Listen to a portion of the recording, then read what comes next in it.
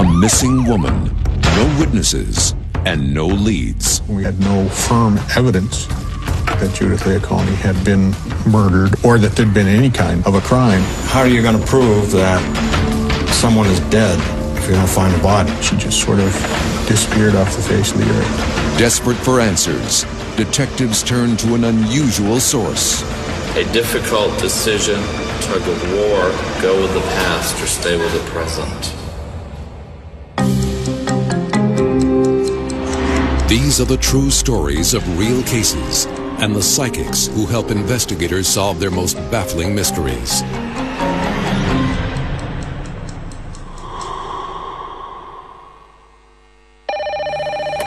Shelburne Dispatch. She's missing. I'll have an officer out there to meet you. Local high school teacher Judith Leo Conies never showed up to teach her afternoon class. It immediately caused a lot of concern among friends and family members. But my experience with missing persons is that a lot of times uh, something simply came up that they hadn't expected. Still, it didn't seem like the 32 year old teacher to play hooky. She seemed to be very well liked and very well respected. I just couldn't find anyone who disliked her, who said anything bad about her. Missing persons are usually someone who's mad at a, at a boyfriend, a husband, a wife, whatever, decides to just take off. We went down and took a look around the, the house, and we found that the place was securely locked. We didn't find any sign that there had been any sort of contentious struggle. And there is no sign of Judy or her car. Anytime you start an investigation like this, it's a process of elimination. There are no rules. Everybody is suspect. Police check out Judy's new boyfriend, Noble Francoeur. Judith Leoconi was in a relationship with another teacher at the high school in Milton.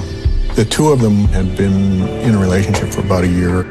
Things had been going well, and the two had been planning on moving in together. Noel Francoeur had worked in the Milton school and um, had, a, had a good reputation, solid citizen.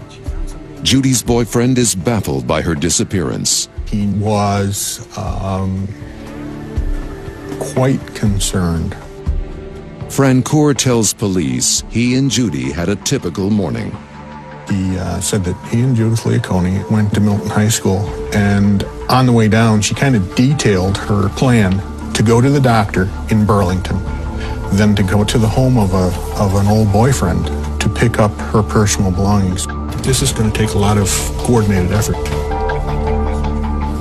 Police retraced Judy's steps. She had made her doctor's appointment on time, and the doctor's office verified that she had left, to the best of their recollection, about 8.15 in the morning. Uh, I wanted to know if you could give me some information on it. It wasn't as though she received bad news or anything. It was, uh, it was basically routine. Okay, thank you very much.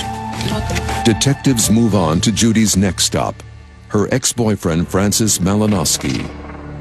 He had worked for the Burlington school system for some period of time and uh, had a solid reputation. Do you know Judy Leoconi? Frank was very open that, that Judith was coming to his place to pick up her things. He said he hadn't seen her that day and he agreed that he would be gone when she came down to his house. He had gone out that morning and just walked in the woods. Between her doctor's office and Malinowski's home, Judy Leo Conies has vanished. Malinowski uh, verbally expressed a lot of concern. Uh, he said that it was very unlike Judy to uh, to go missing. Police put out an APB on the missing woman. Out a BOL for Judy Leoconi. We put out a notice to to uh, state law enforcement to look for Judith Leoconi's car, which was a little red Volkswagen.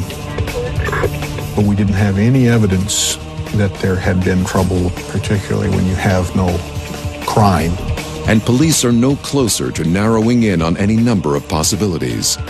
Was someone responsible for the teacher's disappearance? Or did Judy herself just disappear on her own? We couldn't rule out Francis Malinowski, nor could we rule out Noble Francoeur. You always have some concern when they say somebody's missing, but you could come up with a million reasons that someone would be late. She could have disappeared on her own. She can be having an affair. There are just so many things that a person can be doing that don't involve crime or harm, but we didn't find a thing. Uh, no, no indication of the car that first day.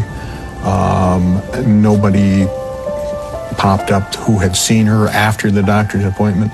And after days of searching, there's still no trace of Judy and no leads. She just sort of disappeared off the face of the earth.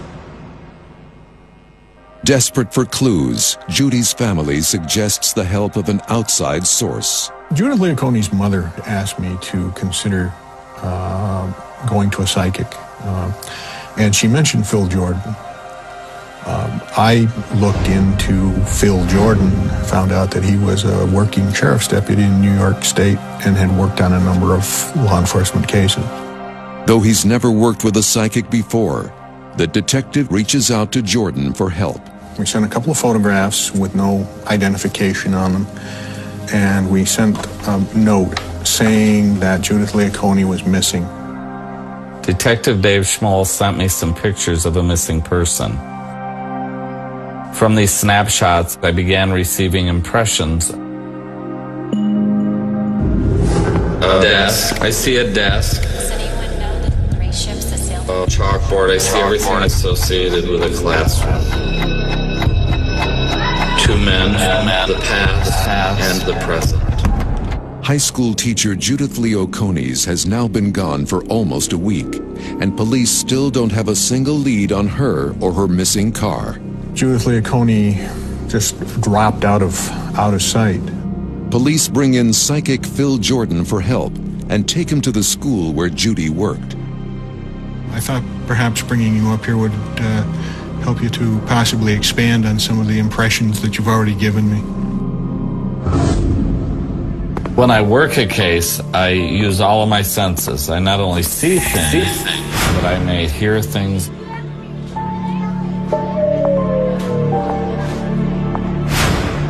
May feel things.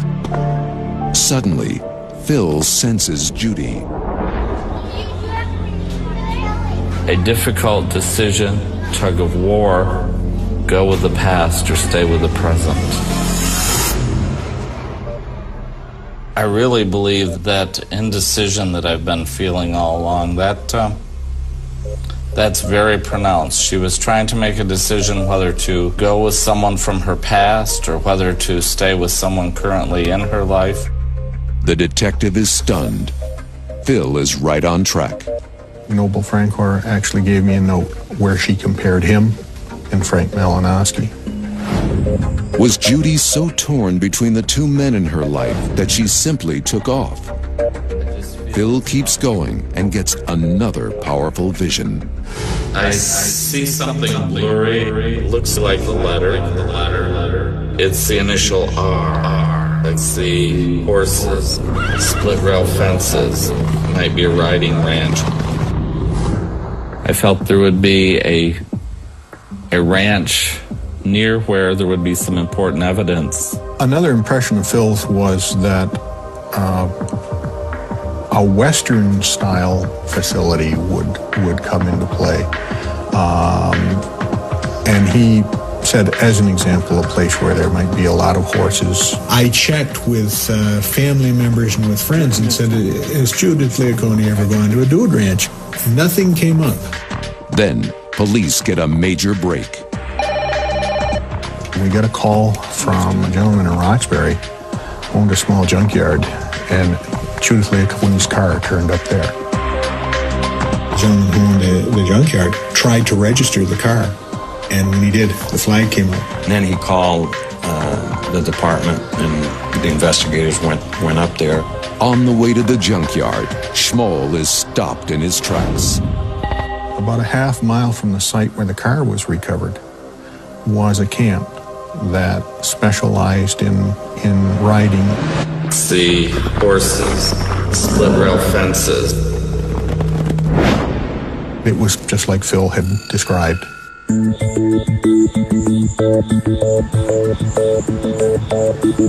We went and spoke with the owner of the junkyard. And he said that on the day of Judith Leoconi's disappearance, this red Volkswagen had shown up at his junkyard with a note on the dash saying that uh, I'm moving on estate.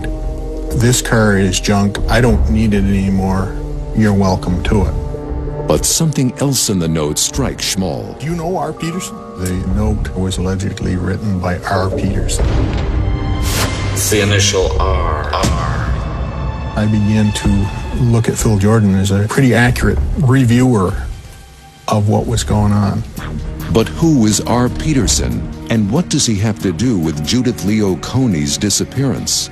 We took the name R. Peterson from the note. Just get me everything you can get on. Run him every every way you can. We found a reference to R. Peterson in Plainfield, Vermont. We found him and through the interview process, basically uh, determined that he had no context of what we were talking about. He was very believable in what he said, and he also had a very, very easily checked story about where he had been that day. Investigators submit the mysterious note for handwriting analysis and check the car for further clues. The forensics people um, went over the car pretty much with a fine tooth comb, and they found a number of fingerprints in it. But that in itself didn't take us anywhere. Then, a suspicious new development.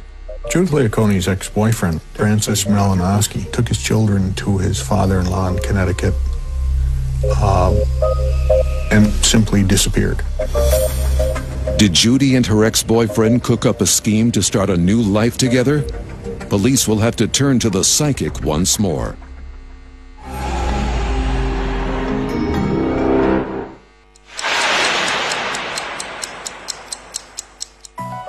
After Judy's ex-boyfriend also disappears, there's a new break in the case. I think the family felt that possibly she may have run away. It appears that things are beginning to develop.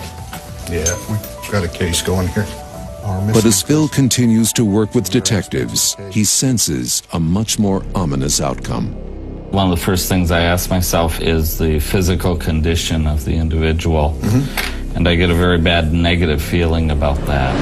The color blue. Chaos. Chaos. Trauma to the head. Trauma to the head. Previous relationship. Blue. Schmoll recalls questioning Judy's ex. On the night that I first interviewed Francis Malinowski, he was wearing a blue down vest. Your observations are interesting here. I would like to kind of ask you to keep going if you would. Uh, if there's anything else that, uh, that you feel might be pertinent. I see Judy going to a residence. Residence. He's desperate, desperate, to try to keep her, keep her in his life. In his life. Judy.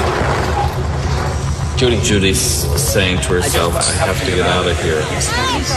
Suddenly she sees a gun. The gun.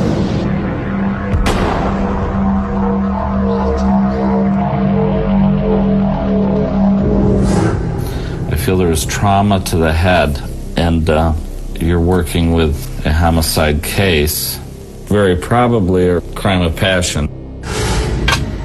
I can see him burying her. That's her ex. And suddenly, suddenly, everything, goes black. goes black. If Phil's right, Francis Malinowski isn't a secret love interest. He's a murderer. But police can't go on the word of a psychic alone. How are you going to prove that someone is dead if you don't find a body? We still had no firm evidence that Judith Leoconi had been murdered or, or that there'd been any kind of a crime. But their suspicions about Malinowski deepen. We got samples of Frank Malinowski's handwriting by court order from uh, documents that he had signed with uh, the bank and with the school system. The note that was found in the Volkswagen went to the FBI for handwriting analysis and came back um, as a match with Frank Malinowski's writing. We did some more legwork and found out that a telephone call had been made to a taxi company from a phone booth very near the junkyard on the night of Judith Leoconi's disappearance. And they had picked up a man identifying himself as Francis Malinowski.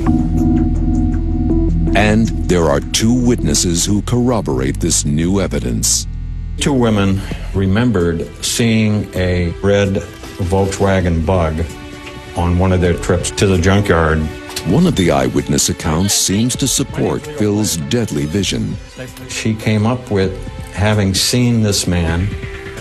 She described Malinowski. She recalls seeing him with a what she thought was a weapon, a, a handgun of some sort. Our list of people to go to is pretty much narrowing down to one, and that was Frank Malinowski. We went to see if we could come up with any more information on Malinowski's whereabouts, but the trail essentially went cold. We went to the house. He was gone. He was not even in the state of Vermont. Convinced they're on the right track, Blaze devotes himself to finding the missing suspect. I obtained a search warrant for Malinowski's daughter's apartment in Montpelier. And underneath the bed was a, I remember it was a shoebox. And I opened the shoebox, and in there was a bunch of letters and stuff like that, some from him. When they check out the return address on Malinowski's letters, it turns out to be fictitious. But something else in the box has caught the detective's eye. They had a stub from a show, a Broadway show in in uh, New York. He used a credit card to purchase the ticket, and I was able to track the name he was using, and I was able to find where he was living in um, L.A. Blaze flies to Los Angeles to track down the suspect. He knew we were on the trail and we were getting close, and that there were going to be warrants issued. So he took off. Can the psychic help police reel in the elusive suspect? When we return.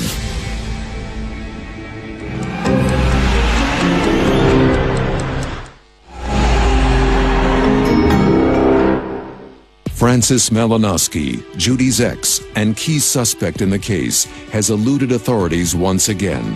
Frank fell off the edge of the world. But the police and the psychic are determined to find him. The LAPD Uniform Division made periodic checks of, of different hotels, and they found him by, by showing his picture to the to the people that ran the motel. And they staked out the place, uh, and we located him there and arrested him. I was so glad that it was over with and that we'd be able to bring him back to Vermont. Once in custody, police confront Malinowski with their suspicions, and his story begins to change. He was depressed about uh, the end of his relationship. Frank Malinowski wrote out a, a short statement uh, acknowledging that he had in fact killed Judith Leoconi, that in a struggle he had shot her in the head. Suddenly she sees a gun, a loud popping sound. He had put her in a garbage bag and had dug a hole and, and put her in it. I can see him burying her. It's just as Phil Jordan had described. You don't have the physical evidence that you would have if you had a body. So the um, agreement between the prosecutor and and the, the defense attorney was that Malinowski take us to the location where he buried Judith Leocones. So we went up to the area and he, um, we walked into the woods for quite a distance. And he, he says it's somewhere near this tree or this area. And that's where we started looking. We found her um, on November 19th after three days of digging. The family could finally uh, have a funeral. They could finally end their their hope. I mean, I just felt relieved that he was in custody. Whenever you resolve a case like this, um, there's a, a feeling of relief. Thanks to the determination of the detectives and psychic Phil Jordan, another case is solved. Phil's uh, impressions, which he gave to me, had uh, involved the education system. They had involved uh, Judith Leoconi's indecision about two people. They had involved the letter R, a Western ranch type area, the wearing of a blue down vest. And all of this eventually was used as corroboration. You got to have a special type of person to be a psychic. I think that some of them can be used for for homicides or anything else. It was like any other good piece of evidence. Um, it was something you could use as a tool. Uh, and under under circumstances where it was necessary, I would have used Phil again in a heartbeat.